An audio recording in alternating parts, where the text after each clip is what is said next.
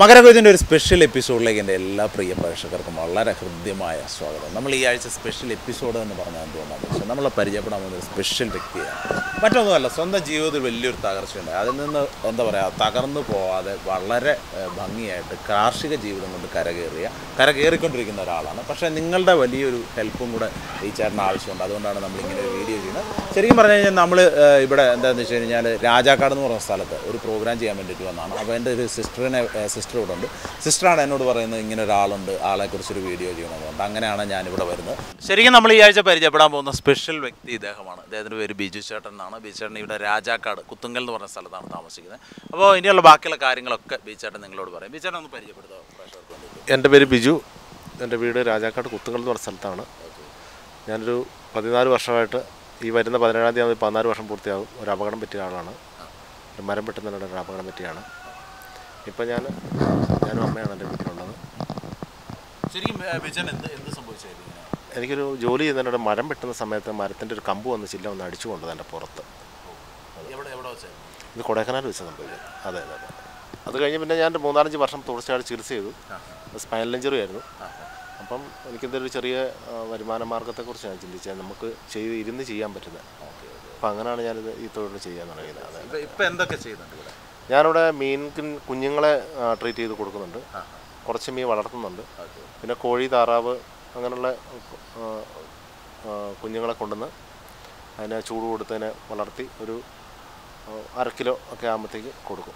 മുട്ടക്കോഴി എടുക്കായിട്ട് കൊടുക്കും. അതെ അതെ. എന്തായാലും എന്താ പറയുക നമ്മൾ ബിജേന്റെ കൃഷി രീതികളും കാർഷിക ജീവിതമൊക്കെ നമ്മൾ പരിചയപ്പെടുന്നുണ്ട്. ബിജേൻ നല്ലൊരു പാട്ടുകാരനാണ്. നമുക്ക് ആദ്യം ബിജേന്റെ നല്ലൊരു പാട്ട് കേട്ടുകൊണ്ട് നമുക്ക് എപ്പിസോഡാണ് നല്ലൊരു പാട്ട് ഞങ്ങൾ തീർച്ചയായിട്ടും പാടാം തീർച്ചയായിട്ടും. മധുരിക്കും ഓർമ്മകളെ മലർമഞ്ചൽ കൊണ്ടുവരൂ കൊണ്ടുപോകൂ ഞങ്ങളയാ മാഞ്ചുവട്ടിൽ മാഞ്ചുവട്ടിൽ മധുരിക്കും ഓർമ്മകളെ മലർമഞ്ചൽ കൊണ്ടുവരൂ. കൊണ്ടുപോകൂ ഞങ്ങളയാ. മാഞ്ചുവട്ടിൽ മാഞ്ചുവട്ടിൽ പതിനഞ്ച് വർഷങ്ങൾക്ക് മുൻപാണ് ബിജുവിന് കൂട്ടായി കുത്തുങ്ങലിന്റെ മല കയറി ഈ വീൽ ചേർത്തു അതും നട്ടലിന് സംഭവിച്ച ഒരു ക്ഷതത്തിലൂടെ. എല്ലാവരെയും പോലെ നിറയെ പ്രതീക്ഷകളുമായി രാപ്പകലോളം കഠിനാധ്വാനം ചെയ്തുകൊണ്ടിരുന്ന ഈ ചെറുപ്പക്കാരനും കുടുംബത്തിനും ഏറ്റ വലിയ പ്രഹരമായിരുന്നു ഈ അപകടം. ഒരു സാമ്പത്തിക അടിത്തറയുമില്ലാത്ത കുടുംബത്തിലെ മൂത്ത പുത്രനായിരുന്നു ബിജു. ഈ വീടിന്റെ ഏക അത്താണി.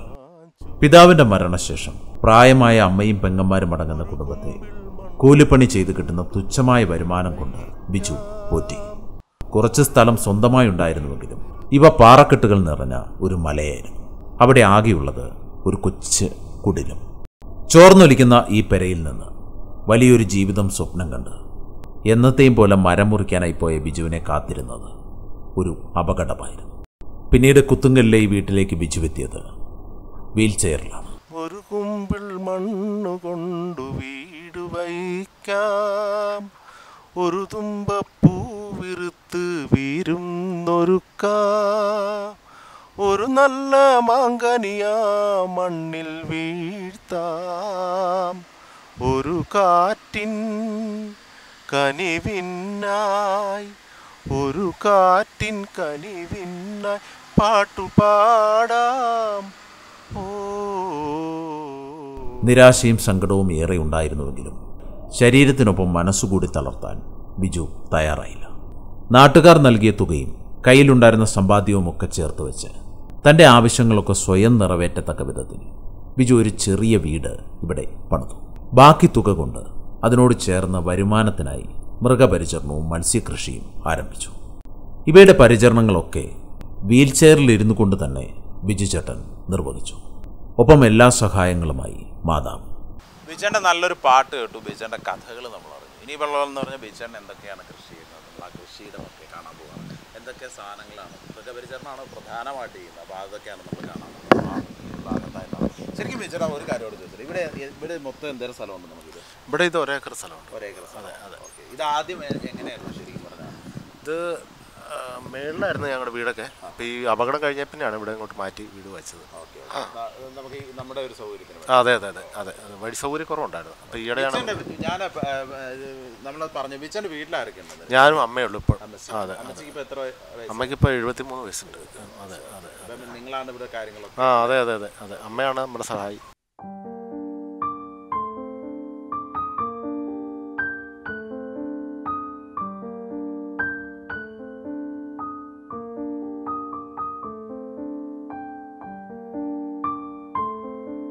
ബിജുവിന് കൂട്ടായി ഇപ്പോഴുള്ളത് ഈ വൃദ്ധ മാതാവ് മാത്രമാണ്.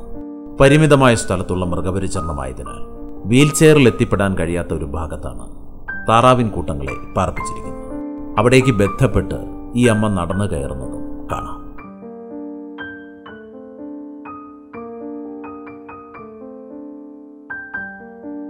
ഇവിടുത്തെ മൃഗപരിചരണത്തിൽ പ്രധാനമായുള്ളത് നൂറ്റൻപതോളം വരുന്ന കോഴികളാണ്. അവയ്ക്കായി ചിലവ് കുറഞ്ഞ ചെറിയ കൂടുകൾ.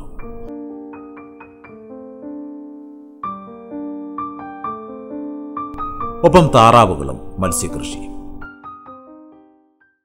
ഇതാണ് ബിച്ചന്റെ കൊച്ചു ഫാം എന്ന് പറഞ്ഞാൽ ഞാനിവിടെ താറാവും കുഞ്ഞുങ്ങളെ വളർത്തുന്നുണ്ട്. അപ്പോൾ കുഞ്ഞുങ്ങളെ വളർത്തി കൊടുക്കുകയാണ് പിന്നെ മിച്ചം വരുന്നത് നമ്മൾ പോയിട്ട് വളർത്താറുണ്ട്. ഇറച്ചി കൊടുക്കും. അതെ അതെ. കോഴിക്കുഞ്ഞും അതുപോലെ തന്നെ. ഇപ്പോൾ കിടക്കുന്ന ബ്രോയിലർ താറാവാണ്. അത് ഒരു അറുപത് ദിവസം കൊണ്ട് രണ്ടര കിലോ വെള്ളം വരും. ഇപ്പം എന്താ ഈ താറാവിന് ശരിക്കും തീറ്റ കൊടുക്കുന്നത് നമ്മളത് ആദ്യം സ്റ്റാർട്ടർ കൊടുക്കും. പിന്നെ ബ്രോയിലർ കോഴി കൊടുക്കുന്ന തീറ്റാനാണ് നമ്മൾ കൊടുക്കുന്നതിന് ഗോതമ്പോ അരിയൊക്കെ കൊടുത്ത് വളർത്താം. അപ്പം നമുക്ക് ഡേറ്റ് ഇത്രയും ഇത് കിട്ടത്തില്ല. വെയിറ്റ് ഇത്രയും വെയിറ്റ് വരുന്നില്ല ഈ അറുപത് ദിവസം നമ്മളൊരു അറുപത് ദിവസം അറുപത് ദിവസം അമ്പത്തെട്ട് അറുപത് ദിവസം ആകുമ്പോൾ കൊടുക്കും. ആ ഇപ്പം രണ്ടര കിലോ കുറച്ച് കൊടുത്താണ്. ബാക്കി ബാലൻസ് കിടക്കുന്നത് പിന്നെയുള്ള ഈ കോഴി ഏതേനോ? കോഴി സാസോ എന്ന് പറയുന്ന ഹൈബ്രിഡിനാണ് അതും ശരി ഇറച്ചി ഇറച്ചിക്ക് വേണ്ടി ഇറച്ചിക്കും കൊള്ളാം. മുട്ടയ്ക്കും കുഴപ്പമില്ല. അതൊരു നൂ- ഇരുന്നൂറ് മുട്ട നൂറ്റി അൻപത് മുട്ട വരെ. ഇത് ബാംഗ്ലൂരിൽ നിന്ന് വരാറുണ്ട്. ബാംഗ്ലൂർ കുഞ്ഞുങ്ങളെ ഇപ്പോൾ കിടക്കുന്നത്. അത് നല്ല കുഞ്ഞുങ്ങളാണ് അപ്പം തമിഴ്നാടിന്റെ ഉണ്ട്. ശരിക്കും ആ, ബിജന്റെ ഒരു ദിനചര്യ ആരംഭിക്കുന്ന ആരംഭിക്കുന്നത് എങ്ങനെയാ? അപ്പം ഈ ഇത് ഇതിങ്ങളുടെ ഒരു എന്താ പറയാ നമ്മൾ ഇതുങ്ങളുടെ അടുത്ത് തീറ്റ കൊടുക്കുന്ന ആ ഒരു അതെങ്ങനെയാ ശരിക്കും? ഞാൻ ഇപ്പോൾ ഒരു കുറച്ച് കാലമായിട്ട് ഞാനൊരു എക്സസൈസ് ഒക്കെ ചെയ്യാറുണ്ട് രാവിലെ. അപ്പോൾ ഒരു നാലരയൊക്കെ ആകുമ്പോൾ ഞാൻ എഴുന്നേക്കും ഒരു മണിക്കൂർ എക്സസൈസ് ചെയ്യും. അതിന് ശേഷം രാവിലെ ദിനചര്യകൾ കഴിഞ്ഞിട്ട് ഞാനൊരു ഏഴര കഴിയുമ്പോഴത്തേക്ക് ഇറങ്ങും ഇവിടെ അപ്പം അമ്മയ്ക്ക് കുറേ കാര്യങ്ങളൊക്കെ അമ്മ ചെയ്യും. അപ്പം ഞാനത് നോക്കി എന്തെങ്കിലും കുഴപ്പങ്ങളോ അല്ലെങ്കിൽ രോഗങ്ങളോ അല്ലെങ്കിൽ എന്തൊക്കെയും ബാധിച്ചിട്ടുണ്ടോ നമ്മൾ വളരെ ശ്രദ്ധിക്കണം ഇതിനെ. ഇതൊക്കെ പെട്ടെന്ന് ഇതിനെ രോഗങ്ങൾ ബാധിക്കുന്ന ജീവികളായി കോഴി താറാവൊക്കെ കോഴീനെ പ്രത്യേകിച്ച് നോക്കണം നമ്മൾ എന്തെങ്കിലും ഒരു ചെറിയ പ്രശ്നം കണ്ടു കഴിഞ്ഞാൽ അന്നേരം തന്നെ നമ്മൾ മരുന്ന് കൊടുക്കും. വാക്സിനേഷൻ കഴിഞ്ഞാണ് നമ്മൾ കോഴിക്കുഞ്ഞിനെ കൊടുക്കാറുള്ളത്. പിന്നെ പിന്നെ എന്താ എന്താ താറാവ് ചെയ്യുന്നുണ്ടോ? ആ നാടൻ താറാവ് കുഞ്ഞുങ്ങളുണ്ട്. അതൊക്കെ ഓർഡർ അനുസരിച്ച് ചെയ്യാറുള്ളൂ. അത് ആലപ്പുഴയിൽ നിന്ന് എടുക്കുമോ ആലപ്പുഴയിൽ നിന്ന് വരാറുള്ളൂ അത് സർക്കാർ ഇതുണ്ട്.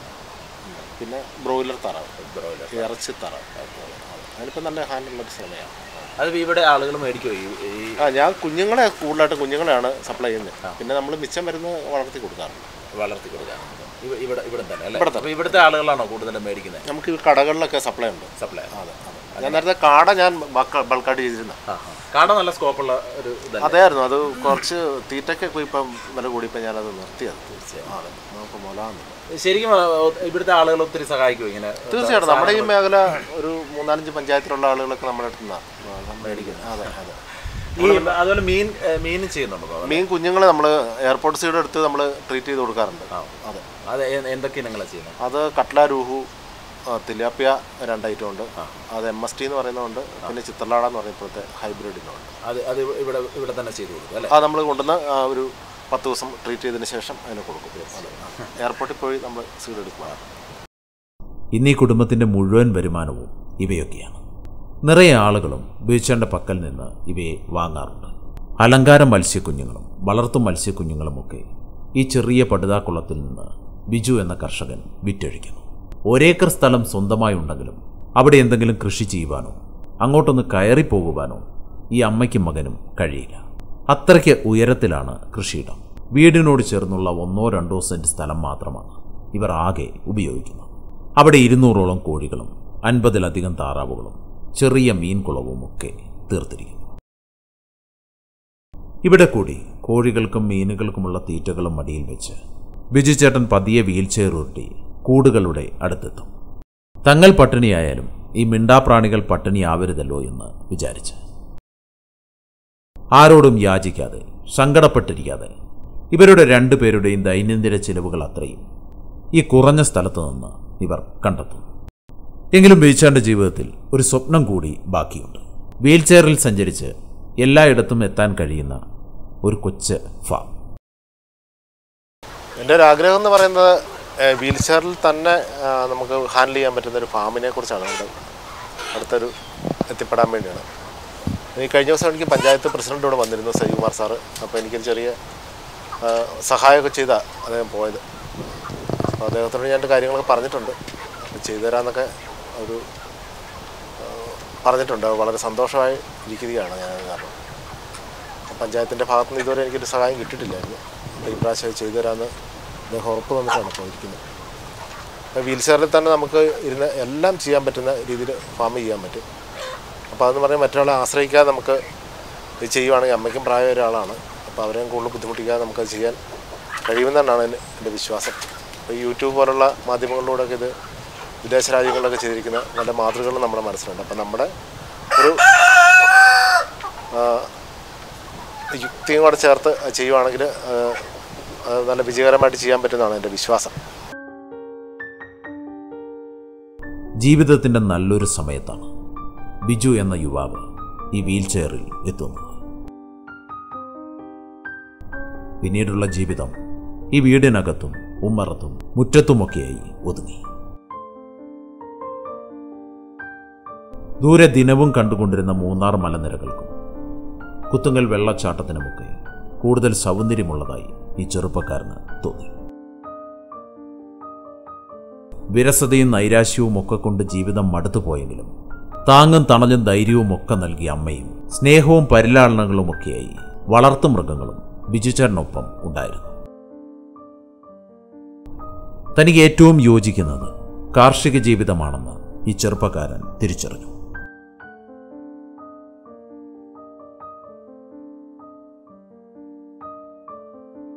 അങ്ങനെ സ്വന്തം പരിമിതികൾക്കുള്ളിൽ നിന്നുകൊണ്ട് ഇവിടെ ഒരു കൊച്ചു ഫാം ആരംഭിച്ചു.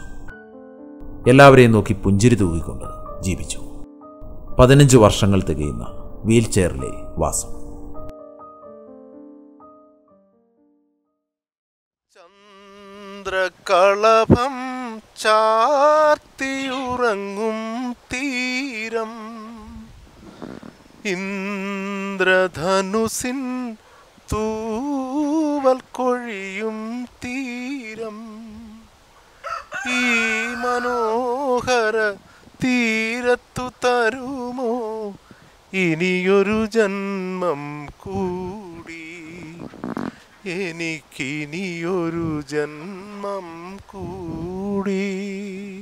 ഈ വർണസുരഭിയാം ഭൂമിയിലല്ലാതെ കാമുക ഹൃദയങ്ങളുണ്ടോ? സന്ധ്യകളുണ്ടോ? ചന്ദ്രികയുണ്ടോ? സ്വർണമരാളമുണ്ടോ? വസുന്ധരേ വസുന്ധരേ കൊതി തീരും വരെ ഇവിടെ ജീവിച്ചു മരിച്ചവരുണ്ടു? എന്തായാലും എനിക്ക് തോന്നുന്നത് ഈ ബീച്ചിന്റെ അടുത്ത് നിന്ന് നമ്മൾ ഒരുപാട് എന്താ പറയുക ഒരുപാട് സാധനങ്ങൾ ഇപ്പോൾ ഒത്തിരി കർഷകരുണ്ട് ഒരുപാട് ഒരുപാട് മൃഗപരിചയങ്ങൾ അപ്പോൾ നിങ്ങളെ കൊണ്ട് പറ്റുന്ന രീതിയിലൊക്കെ ബീച്ചിന്റെ അടുത്ത് നിന്ന് ബീച്ചിന്റെ നമ്പരും ഉണ്ട് ബീച്ചിന്റെ അടുത്ത് നിന്ന് സാധനങ്ങൾ വാങ്ങുക എന്നുള്ളതാണ് നമുക്ക് ഇതിനകത്ത് അല്ലേ? ബീച്ചിനെ സഹായിക്കുക എന്നുള്ളതാണ് ശരിക്കും പറയാനുള്ളത് ഈ മഴക്കെടുതി വന്നതോടുകൂടി ഇപ്പോൾ രണ്ട് മാസമായിട്ട് മഴയാണ് അപ്പോൾ കുഞ്ഞുങ്ങളൊക്കെ എടുക്കാനേ പാടും. അതുകൊണ്ട് അതെ അതെ അതെ. അതുകൊണ്ട് മീൻ കുഞ്ഞുങ്ങളും അതെ മീൻ കുഞ്ഞുങ്ങൾ ഈ മഴയത്തെടുത്താൽ പി എച്ചിന്റെ ഇത് വരുമ്പോഴത്തേക്കും ചത്തുപോകാൻ സാധ്യത കൂടുതലുണ്ട് എന്തായാലും എല്ലാവരും ബീച്ചറിനെ അങ്ങനെയുള്ള കാര്യങ്ങൾ സഹായിക്കുക. അതാണ് നമ്മളെ കൊണ്ട് ചെയ്യാൻ പറ്റുന്ന അത്രേ ഉള്ളൂ. അല്ലാതെ മറ്റുള്ള കാര്യങ്ങളൊക്കെ എന്താ പറയുക പിന്നെ ഓരോ എന്താ പറയുക ഒരു ദൈവത്തിന്റെ ഓരോ പദ്ധതികളാണ്. എന്തായാലും ഒരുപാട് സന്തോഷവാനായിട്ടാണ് ബീച്ചറിന് ഇവിടെ എന്താ പറയാ നമ്മൾ ആ എന്താ സ്വന്തം കാലിൽ നിൽക്കുക എന്നുള്ളത് തന്നെ. ആര് ആരുടെ സഹായങ്ങൾ അധികമില്ലാതെ അമ്മച്ചി ഉണ്ട് അമ്മച്ചിയും കൂട്ടി. അമ്മച്ചിയും കൂടെ ഒന്ന് ആ അതെ ഫ്രെയിമിൽ കൊണ്ട്. അമ്മച്ചി ഒന്ന്